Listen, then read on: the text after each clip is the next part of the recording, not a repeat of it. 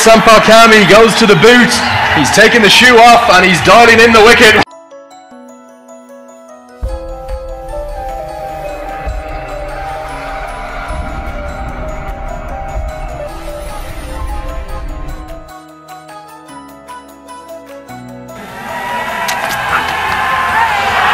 Bowling, that's going to be the third wicket. Sompal Kami goes to the boot. He's taking the shoe off and he's dialing in the wicket. What a celebration that is. I said to him on the outfield, I want to see some celebrations. And he's just chopped on, no foot movement of any kind, looking to run it down. Let's see that celebration again for the Dapper Bet breakthrough. I absolutely love this. The boot comes off. Hello.